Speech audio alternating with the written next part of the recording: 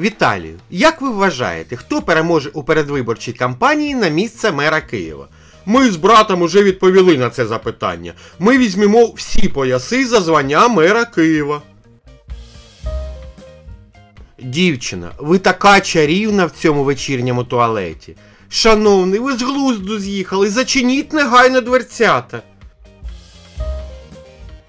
Вовочка підходить до батьків і запитує: А чому завжди, коли я співаю, ви стоїте біля вікна?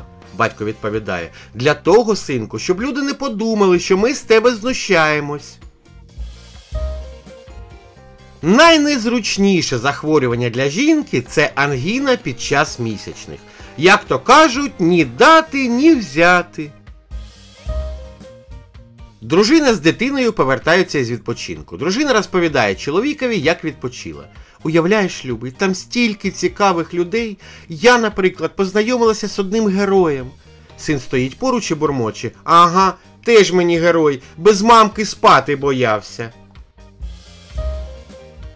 Сидять на лавці три сусідки. Одна і каже: нещодавно вичитала, що ті люди, які активно займаються сексом, живуть набагато довше за тих, хто ним не займається. Друга така: Ось ось, я вам казала, що ця повія Люська нас усіх іще переживе.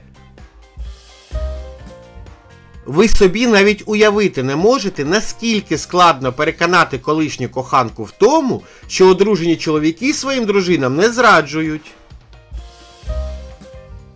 Друзі, будьте уважні, бо покоління студентів, яке купило собі дипломи, вже працює, а незабаром на роботу вийде покоління студентів із дистанційним навчанням. Чоловік приходить з роботи в гарному настрої приносить дружині квіти. А вона незрозуміло на нього дивиться і питає: І що? Мені тепер ноги розставляти? А що, у нас в квартирі хіба вази немає?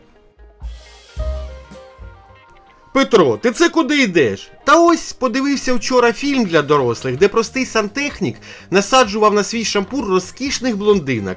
І тепер йду до Жеку писати заяву про прийом на роботу. Ох, Петро, Петро, начебто доросла людина, як дитина мала, на соціальну рекламу повівся.